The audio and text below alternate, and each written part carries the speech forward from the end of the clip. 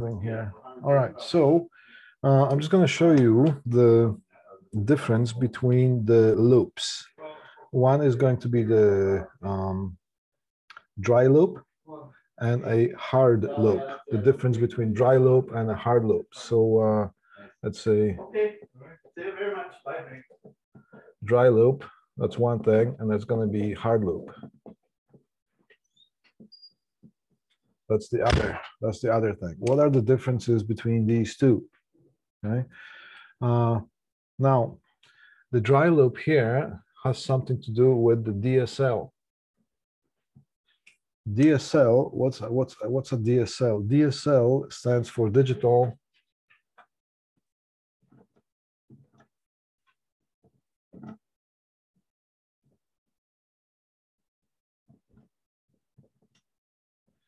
Digital subscribers line. So that's DSL, DSL, all right?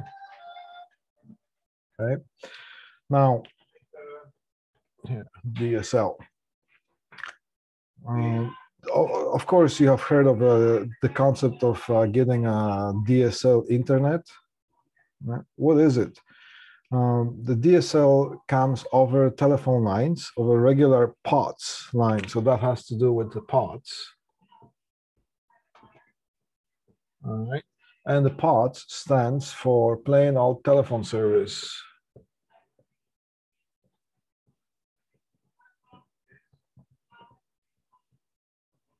It's getting quieter now. Laid on telephone service, POTS, P-O-T-S. Um, so basically, the internet can be delivered to a building or a household um, various ways. One of them would be DSL, digital subscribers line. There will be a cable line which goes through the coaxial cable. Uh, then uh, optical fiber, which uh, you're going to uh, learn about uh, by watching these two lectures that I'm uh, that I'm going to give you right now, uh, and uh, over air satellite.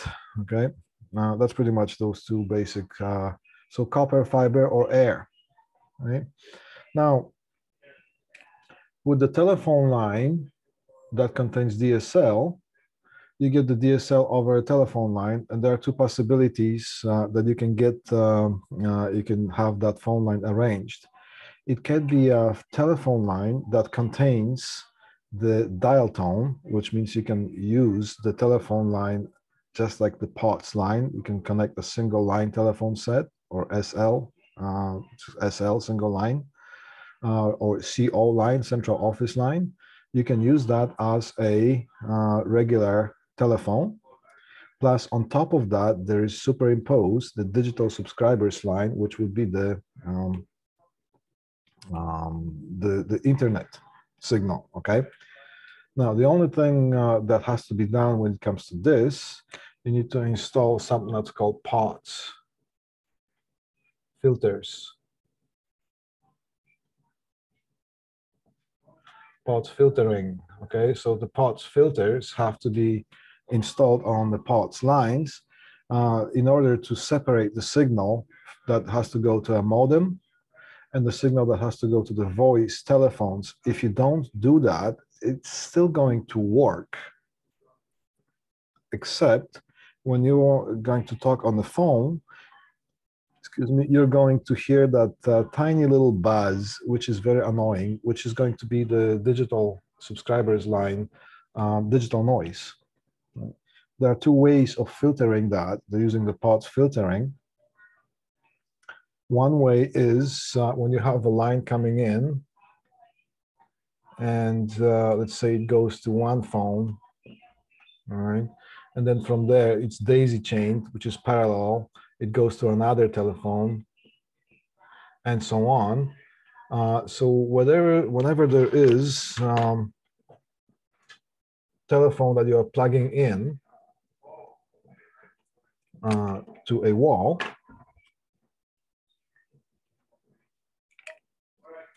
so let's say there's a telephone jack right at the wall. Here's a telephone jack, and here's a telephone here, okay? Uh, so if you plug in straight, you're going to hear that uh, you're going to hear that uh, buzz. So over here, you need to plug in something that's called a POTS filter. Right? And a POTS filter looks like uh, the, the, the uh, locally installed uh, POTS filter. It's just, you, you've seen it all probably, but it just looks like like a box, okay, maybe a rectangular box. And on one side, it has a RJ11 jack. And on the other side, it has RJ11 plug, right? So it goes like this here. So you plug that in here and you plug that to the telephone and uh, you're okay. That filters out that DSL signal. The other way, what you can do is if you have a central, uh, you can do it centrally. So when you go to the something that's called demarcation point or demarc point, demarc point, okay? Demarc or demarcation point is um, uh, point of entry, right? So when you have um, uh, when you have a telephone system being brought in to your uh, main connection, main service, or like usually it's in the basement or in the utility room, then you install the centrally installed POTS filter all right? And you plug it into here, and over here you have different type of outputs. One is going to be the voice or the POTS, and over here that's going to be DSL. So here is the main service, the POTS and DSL all together. You can still pick a, you can still plug it in, you can dial the number, you can hear the dial tone, but whenever you're going to talk on the phone, you're going to hear that um, uh, annoying internet, uh, the DSL buzz, all right? So you can, you can uh, install um, centrally located POTS filter right at the connection point where the, where the telephone line is brought in. And over here, you connect this to all the other telephone lines that are going into the house or for the rest of the building. And over here, this goes to a modem. And uh, and and that's that's how we can dissolve uh, we can uh, solve uh, this uh, this sort of issue. Now, uh, but what I promised you is was I was going to um, tell you the difference between dry loop and a hard loop, okay? Okay, just give me a sec here. Busy shop today, okay? Make some room here.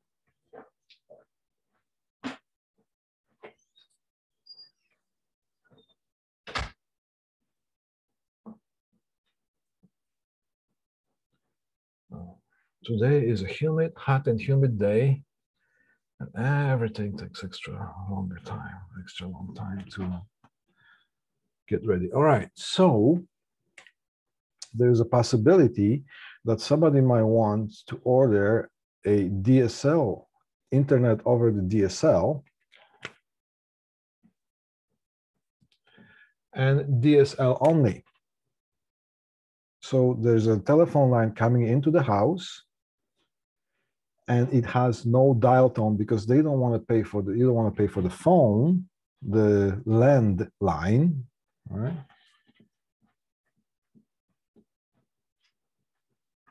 So you don't want that, but you just want DSL on it. So that's what's called a dry loop.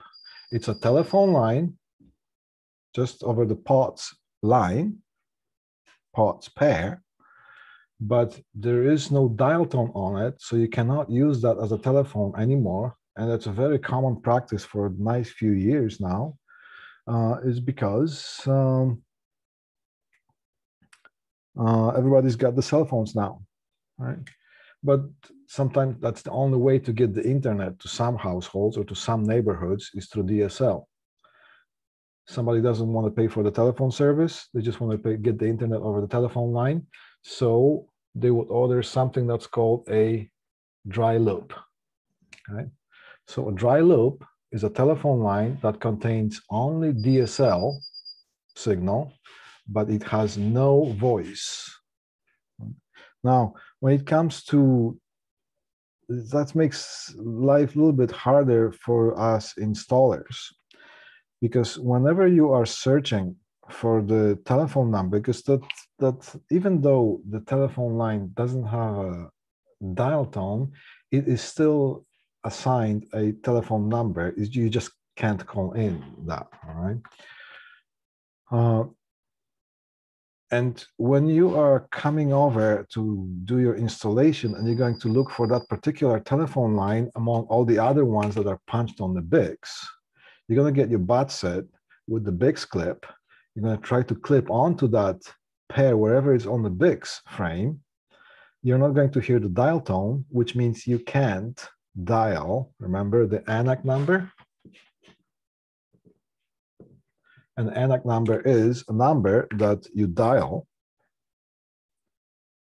and the automatic circuitry picks it up and it tells you the exact pinpointed telephone number of that exact line. So if that line is part of a rollover group, it is not going to give you the main published number of the whole rollover group. It's going to give you uh, by voice, is going to tell you you're calling from so and so and so of that particular hardwired telephone line. Right. So that's how you search for that. Now, when you have just a dry loop there, you are not going to be able to dial because there's no dial tone. So it's harder to look for it. So that's why it is important so that uh, whoever is installing those lines, so like uh, for example, there's like a Bell Canada or or, or AT&T or any other company. Um, when they install those lines, it's actually very important that they physically label, they tag it, and it's a little tag, paper tag, with the telephone number written on it and it's basically tied in with a little piece of string to that uh, pair that is terminated, okay? And if it's not there, you are not going to be able to find that line unless you have something that's called a DSL tester, which is more expensive than uh, than the, just a little BAT set or the, the installers set. Uh, and not all the companies have it. You don't always have it in your van or in your uh, you know arsenal of tools. Okay? So that's that's why it's very important. If you don't have the DSL tester, there's no way you can pinpoint among all the other lines that are installed um, uh, to pinpoint that number. Right? So um, that is a dry loop. Right? A dry loop is a POTS line that contains only DSL signal for the purpose of not having to pay for the whole service not having to pay for the DSL and for the voice line in order to save money because anybody everybody has a cell phone anyways so that's what people use it now these days right? So that's a dry loop. Now a hard loop is something else. Hard loop uh, is something to do with the ethernet connection okay? Remember when um, um, we have the blue orange, green, brown pairs. These are the pairs. That's for the Ethernet. And remember from previous lectures, we established that when it comes, usually when it comes to Cat5e, right, only the orange and the green pairs are being used. That's Cat5e. When it comes to cat six, um, all four pairs are being used. Now,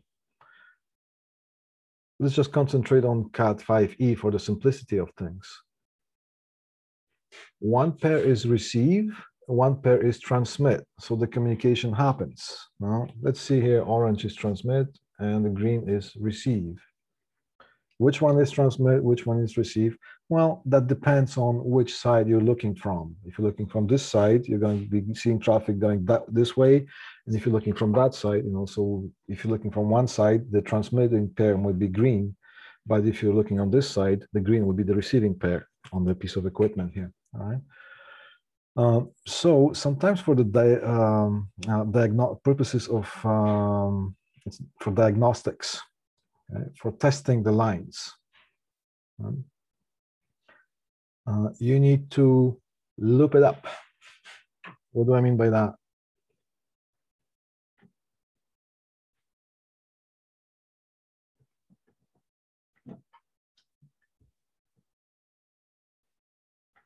Basically, you connect, you just loop those, okay?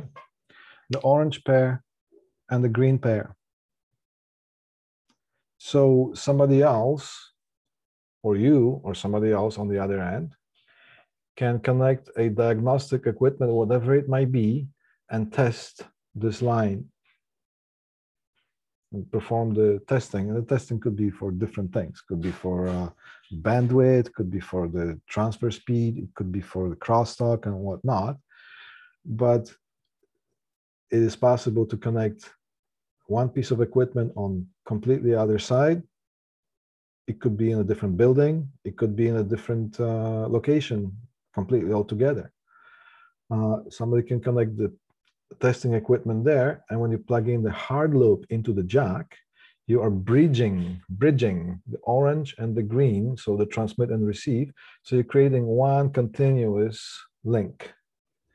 All right, so that is called a hard loop. How do we make one if we don't have one? Well, excuse me, the easiest way to do that is take the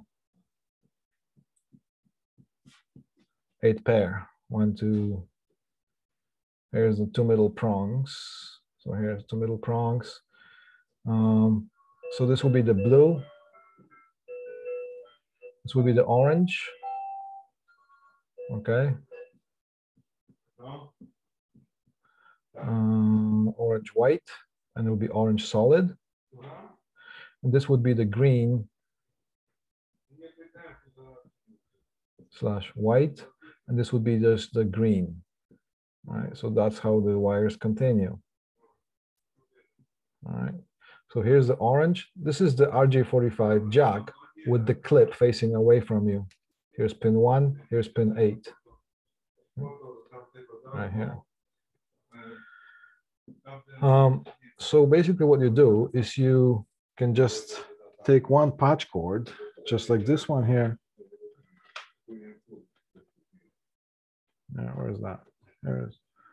Just take one patch cord and just cut it right here. Just cut it, strip the wires. And when you strip the wires, you'll be able to see the oranges and the greens. So what you do is you just strip a little bit and you connect green solid to orange solid. And green stripe to orange stripe. So you connect the solids and the stripes together to create a continuous loop for diagnostic purposes. That's the only reason you want to create it. You can buy a pre-made one, or if you want to spend a little bit more time, you can uh, remember when we did the RJ45 jacks, the modular sorry plugs. You can get a crimper and you can get a twisted pair going from this to that, and you just crimp it. So the oranges and the greens, right? and you just crimp it, and you have you know nicely twisted. So then you're gonna have a nice and proper, properly made. But if you're in a pinch, you can just get one patch cord, which is gonna cost you maybe a dollar seventy-five or something. Uh, cut it, strip it, twist those pairs together, make it as short as possible, and here's your diagnostic tool. So that's a hard loop. Right? Again, as a review of this short lesson here, dry loop is a POTS line. Hey. POTS line that only has a DSL signal. It doesn't have a dial tone, so it cannot be used as a telephone line. And it only carries the di digital subscribers line, which is the internet over the telephone line, DSL. Dry loop. It has internet signal. It doesn't have the voice circuitry plugged into it. Right? Hard loop is a diagnostic tool that's being used in the RJ45 or the Ethernet configuration or the T568 configuration for Ethernet line uh, purposes, testing purposes. Yeah. Now, uh, some time ago, uh, well, a nice few years ago, I was uh, sent for a service call um, to one of the huge uh, distribution companies, not going to use any names, and uh, it's it was not the ethernet line that had to be tested it was the t1 circuitry that was supposed to be tested. And that involved me getting on the phone with the company who was testing it that just installed the t1 circuitry. And i just had to plug in the um, dry sorry the hard loop onto the jack that was coming out from the t1 connection. And whoever was on the other side um, were able to log in to that circuitry and perform the diagnostic test and say, yeah, this thing is all good. We can make this thing active because it was a freshly installed line. So my service call was just to arrive on site, get a hard loop, plug it in, wait on the phone for them to do their thing on the keyboard. And they say, okay, you're good now. Unplug it, put it in my toolbox. Thank you very much, $200. All right. Um, so so uh, yeah so now i just i just wanted you to know because it's going to be on the last test. Uh, i needed you to know the difference between the hard loop and a dry loop. So now you know okay? Now this is the second last time that we're going to see each other here. Um, before i let you go and point you to the uh, optical fiber lectures that are pre-recorded. Are there any questions about any of the stuff that we have done through the whole course of this short semester? Anything about the assignment? Uh, is there anything that uh, you are not clear on? If you don't have an immediate type of idea for a question, you know how to find me. You can always welcome to send me an email, and uh, uh, I try to uh, I try to do my best to uh, respond as quickly as I can. And you could probably notice that by now. All right. Uh, well, I mean, sometimes I answer the questions at three o'clock in the morning. right. So when you wake up, you get the answer. Anyway, so uh, are you able to explain to what's missing from the assignment? All right. Yeah. Yes, I can. Um, just uh, put this thing somewhere here.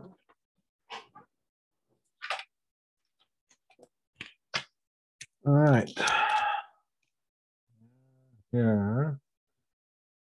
And let's get some picture in picture. There we go. Just gonna zoom out a little bit with the camera.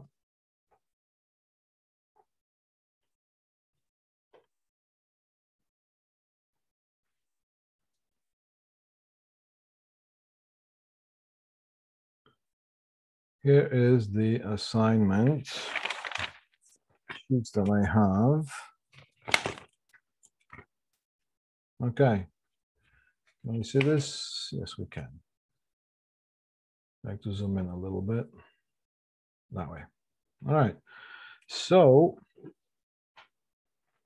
what we have, we have the main LAN room here with all the home runs, all the wires uh, basically home run to it. That's the main communications room. And from there, there will be line going to the main bundle with the J hooks that you marked on.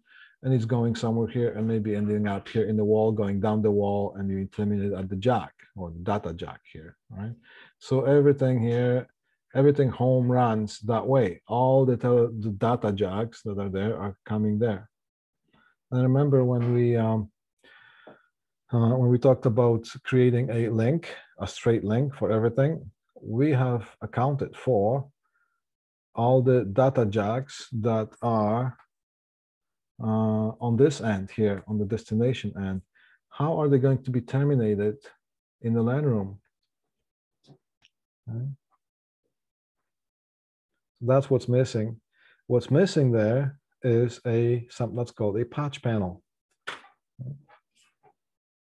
have seen PoE switch. Yeah, no. Oh, okay. Well, we're just doing the. Uh, let's uh, just for the purpose of the simplicity things. All the other equipment is provided by whoever the third company that called us to do the infrastructure wiring just for this this one contract, right?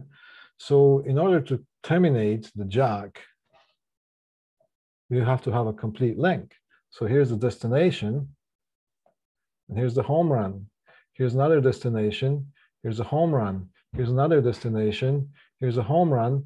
Those other ends, they also have to be terminated at the other end. Each line is an individual dry line from one end to the other. When we did the straight link, remember, the jack to jack, female to female, from here to here, we just did one piece of cable. But in reality, those cables are longer. They're going in the ceiling, in the walls, and all that stuff. And they go, they're terminated. What you could do is you could just have one big bundle of just those loose jacks, but nobody does that, right? What you do is in the equipment rack, you have something that's called a patch panel. And a patch panel is a is a piece of metal, to put it in the simplest way, with permanently installed jacks arranged in a certain way that you just terminate those wires, just like if you would do to regular jacks, but you just terminate them in this type of organized way, and that's called a patch panel.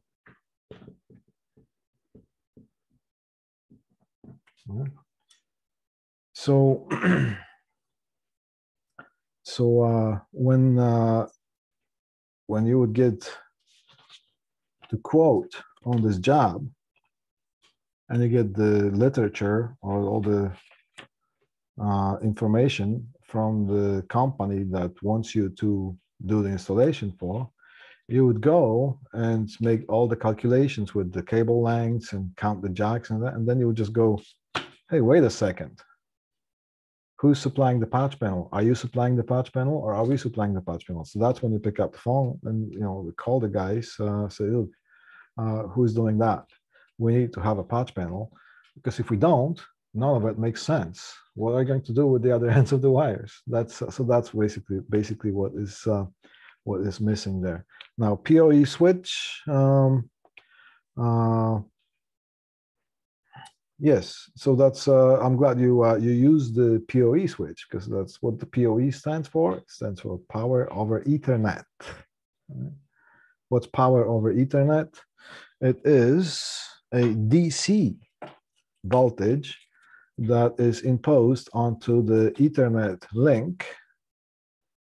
So you can plug in some sort of equipment that needs power, like an active piece of equipment that needs power to operate. And it could be a VoIP telephone set.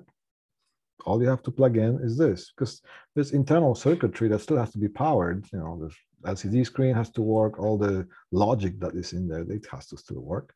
Uh, wireless access point, it has to be powered because it's a transceiver. It transmits and receives the Ethernet signal wirelessly through the laptops, through the tablets, uh, cell phones, and what other devices could be. So that also has to be powered. So that's that's why we use the PoE switch. So where it would be mounted on the rack would be usually below, and you use patch cords, except shorter ones, for aesthetics. And switch also has ports, and you just go one to one. Each every each individual jack, Ethernet jack, is terminated at the back of the patch panel, making it a dry run straight link. Right? And why we are doing this is that because could we do this? Can we just bring those lines and terminate them with the RJ45 plugs? Yes, we could. And some I'm just going to use the word cheap installations, and they have to be small enough. They implement that idea. Right? Problem with that is, or I'm going to start with the advantage of doing it the other way, which is basically terminate here, terminate permanently on the other side of the patch panel, is you have a permanent link. Anything that is movable or changeable is on this side of that and on the other side of that link. So that means this is permanently installed in the walls, which means it can be tested and it can be verified and it can be certified as a certain type of a link. It could be certified as Cat5e link, it could be certified as Cat6 link, it could be certified as a Cat6a and so on.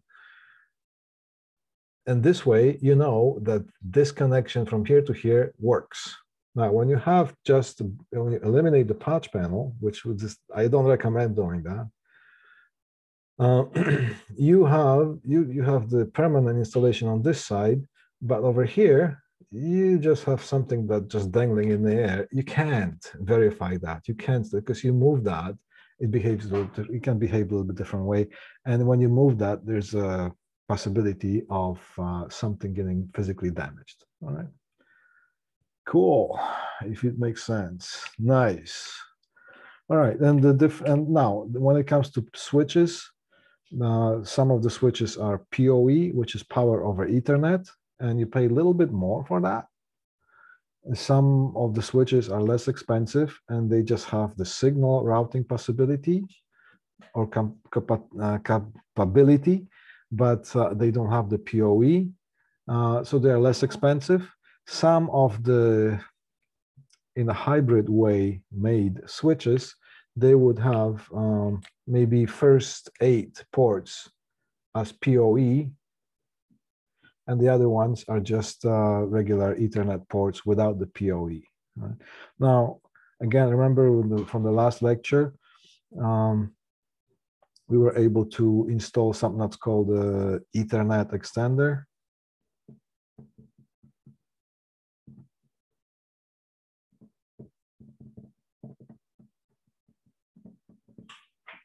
Ethernet. No, no, no, no, no, no. Hmm not Ethernet extender. That's when you want to make the Ethernet line longer than 300 feet and still pass the signal. You're not going to get the same speed out of it, but you're still going to get the connectivity of it. So if the speed is not that crucial, you're good. But for that, we're, I was talking about PoE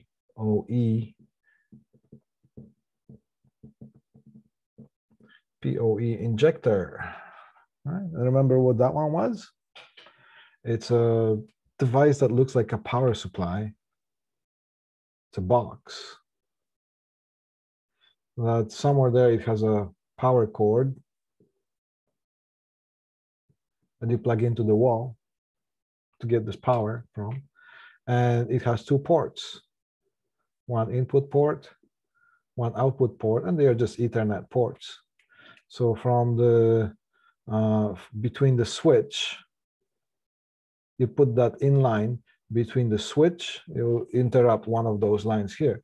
So that uh, would be used sometimes when there's already existing network and there's an order of installing an active device that requires PoE and the switch that is already there existing doesn't have PoE capability. So instead of going through the whole operation of replacing the switch, and that could be a complicated procedure because the whole facility operates as it is, um, and a lot of the switches have to be programmed certain way.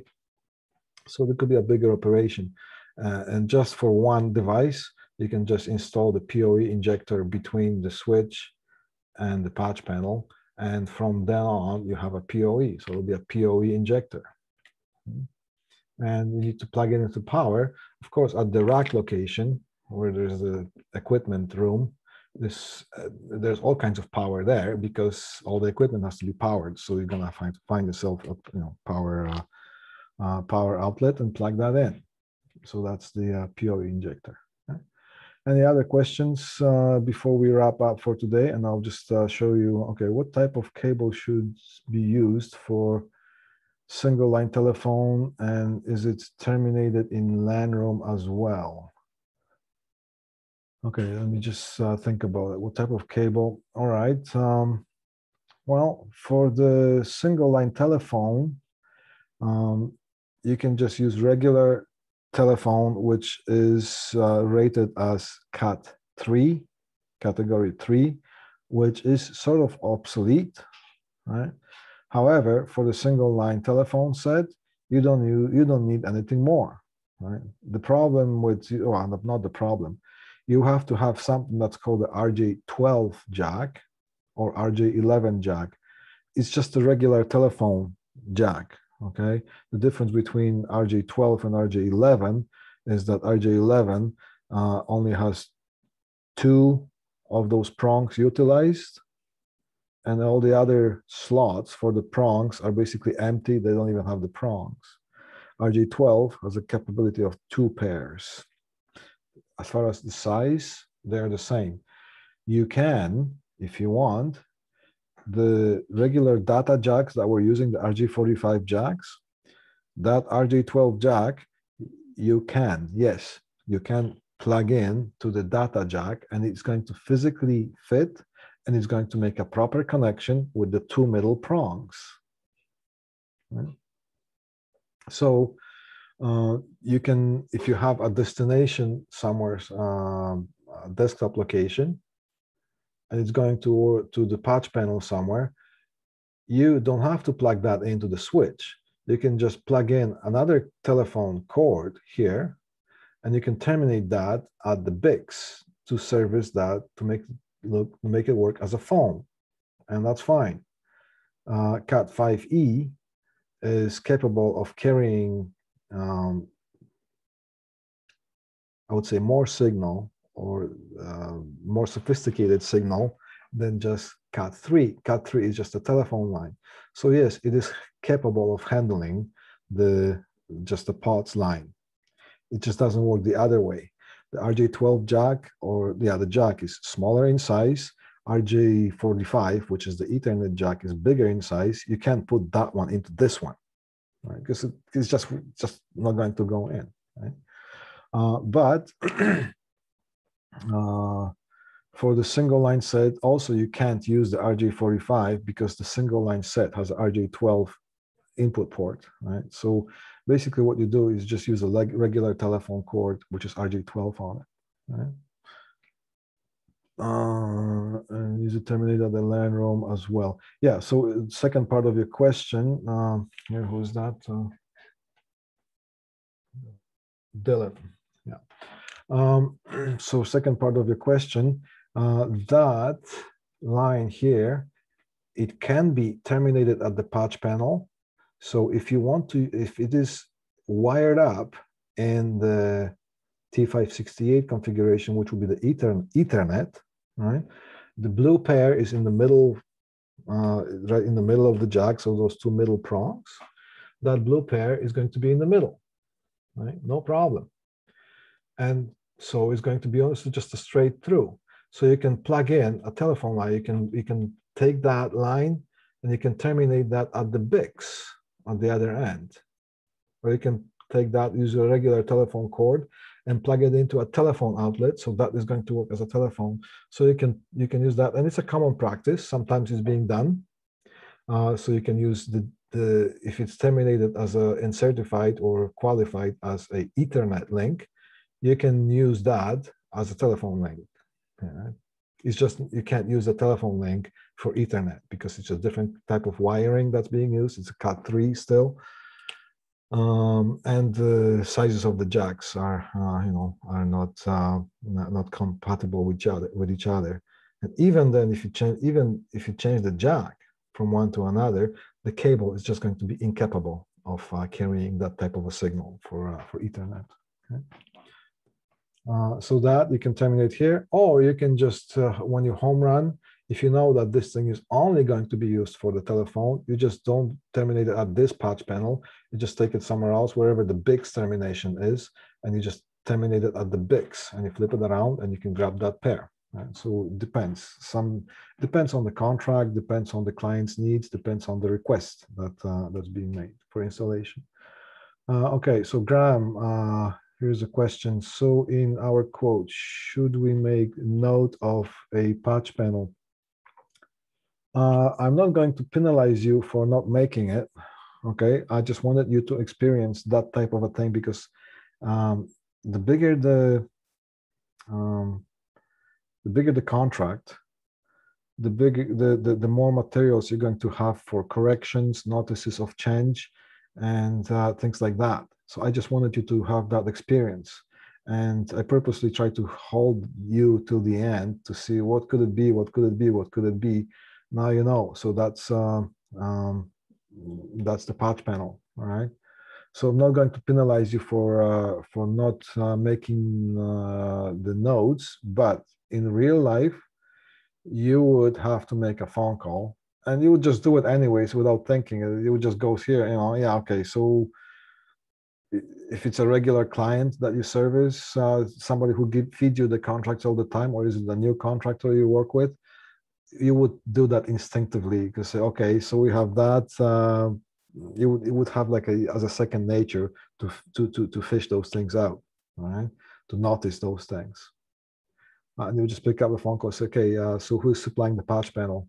Oh, uh, I forgot to mention that, uh, you know, can you do that? Oh, it's going to be so much, so and so extra. Okay. Yeah, no problem. Yeah, yeah, I forgot to. Or they say, no, no, the patch panels are there. It's going to be shipped to you. You just supply the jacks. Or sometimes they uh, ship everything to you. And you just uh, service uh, them with your knowledge and your experience and your labor.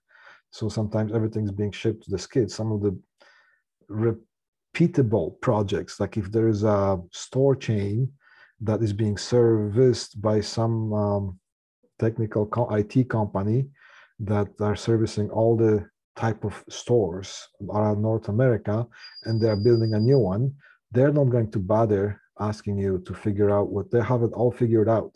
Right? In fact, some of the bigger companies they have a huge open warehouse with just a free flat floor and they're servicing maybe one uh, fast food chain maybe some hardware stores chain maybe something else they have a sample setup set up on the floor of how it works so if there's time for troubleshooting um, you just call them and they go try to simulate the problem right so it's all on wheels all modular furniture all set up working as that store as one example and if they are building a new store just one more of the 2000 that they have somewhere in the whole North America. They have the list of materials and everything. They just put it in the boxes, put on the skids, ship it to you. So you don't have to about worry about supplying anything, uh, including the racks, cable, everything, right? But I just wanted you to go through the quoting process. So I give you a little bit of both worlds here. Um, 911, uh, okay, so what's the 911 question here? Uh, so in our quote, should we make a note of patch panel? And now Dylan says for 911 line, what type? Okay, so for the 911 line, uh, in this case, uh, that um, mm, that line that goes to the 911, which is here. Uh, our 911 set is right here. Okay. Um, the 911 line is right here. And here's our uh, LAN room. Uh, in fact, in reality, uh, this is from a sort of like a real job that was done. Uh, that line was going in the ceiling, over behind the offices, and somewhere else in the plant that is not mentioned here uh, that's where the demarc point was for the telephones. But for the for this exercise, we're going to basically assume that everything or set the scenario that everything is here. So you would not terminate that at the patch panel. You'll probably terminate this thing straight onto the you know uh, onto the uh, BIX termination block or BIX connector. Um, straight on, straight on as as short as a as quick route as possible. So there's not too many things in between. So you would terminate that onto a BIX The other one line that coming from the city would be on the BIX. So we'll just punch it here, run the cross connect wire, punch it here, test it, make sure it works. So that would be the 911 uh, line here. Okay. Uh, now for the budget purposes, we should just use the RG5, RJ45 and Cat5E, yes. Right. Uh, yeah, you're not, see, here's the thing, uh, you know, I'm glad you pointed it out. Uh, who is that? Dylan. Uh, okay. because when uh, not too many companies order cat three wires just to run telephones not too many telephones are being installed not too many single lines so it's going to be a one single somewhere uh, for 911 and the other one single for 911 or something like that for whatever purposes but uh, what if uh, two years down the road that telephone set is going to be removed and because somebody needs an extra RJ, uh, extra ethernet jack so you already have the um, cable run, you just change the jacks and terminate them properly. That's why you have the service loop there. So you can reroute that somewhere and you have a service loop on the other side. So you could reroute that as well. Right? Um, the other reason for mostly installing the um, Ethernet or Cat5e cables is that uh, you're not going to bother storing in your office or in your building or in your company uh, cables, boxes of cables that you're rarely going to use, right? It's just going to occupy the space. If you need one or two wires, you're just going to use the Cat5e and use it as a telephone line, right? Uh, all right. Uh, another question. Good. I'm, we're getting some questions here.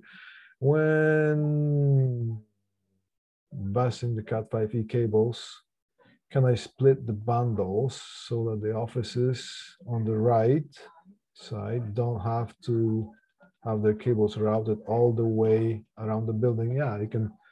Uh, I think you, you mean that uh, once you go, um,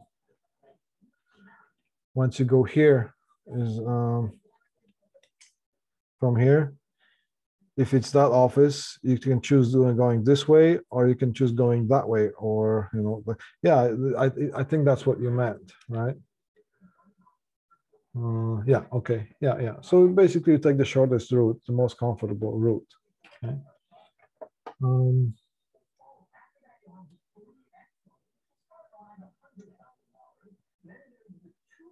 Yeah, now that depends also by by saying that I'm going to say something else as well.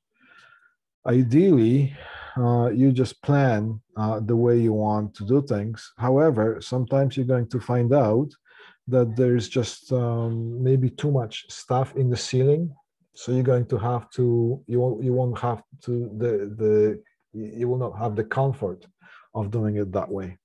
Okay, uh, so you can if you can, yes. Less cable you use, the better. And the more organized you are with things, the better. Because when you run the cables and the infrastructure system in an organized way, it is easier to troubleshoot. It's easier to find wires. Um, and you don't run into troubles later on when you try to uh, well, service the system.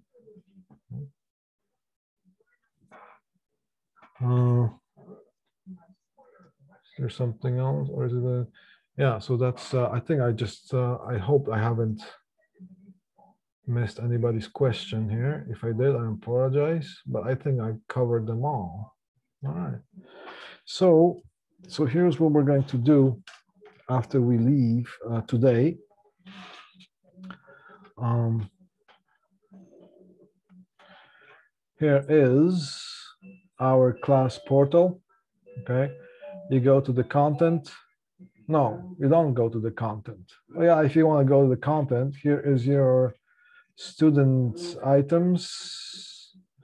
And here are the optical fiber one of two, optical fiber two of two. These are the lecture notes. And if you go to the main page of our class portal, when you see this uh, little banner, um, here is the announcement for our today's lecture. And right underneath that, there is another announcement that says week six lectures. Here's one lecture to watch. Here's another lecture to watch. This is the first part of the optical fiber. This is the second part of the optical fiber. When we meet a week from now for the last time, uh, we will be able to discuss some of that th those things that maybe you're going to have some questions uh, and maybe we can review some other things. Um, and I'm going to try to see are going to are we going to have enough time to write the last test? Um, I'm going to have to see that how much time. Should I deploy the last test number three this weekend or do we have one more week? Let me just uh, let me verify that okay? Um, so if there is no any other questions, now you know what the hard loop is, you know what the dry loop is, and uh, you know about the filtering. We covered some of the questions about the assignment and some other logistic questions about what we have done. If there's any other question that comes to your mind, just uh, you know, be comfortable to ask me anything anytime. All right. Uh, okay, so just uh, go and watch those two lectures and we're going to meet again. Uh, some of you are going to meet on Tuesday uh, uh, for the remainder of the, for the last lab. And the rest of you, everyone, we're going to see a week from now. Okay, oh, there's one more thing here. Will the test be the same setup? Yes, yeah, uh, it's going to be on the same basis. All right, cool. No more questions. Go watch those uh, lectures. Thank you, and you're welcome. Go, uh, go watch those lectures, these two lectures, and uh, I will see you when I see you. And uh, yeah, that's it for today. And I will, I will, this little lecture here, I think this short class, I will post that on the YouTube as well. Okay, see you guys.